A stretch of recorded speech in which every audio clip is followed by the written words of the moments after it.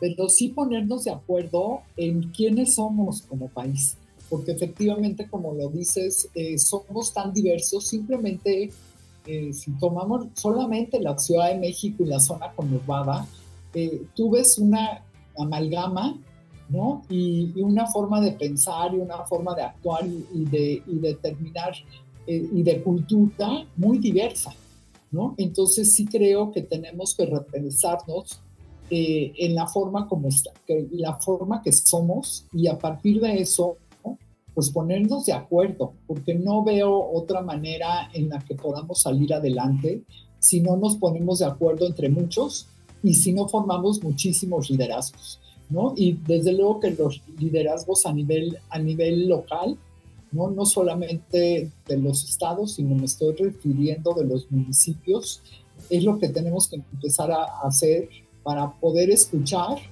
¿no? a la gente de cuáles son sus intereses, cuáles son sus inquietudes, eh, en qué piensan y cómo ven la vida hacia adelante. Eh, creo que no podemos eh, ver la vida solamente desde los que vivimos en la Ciudad de México.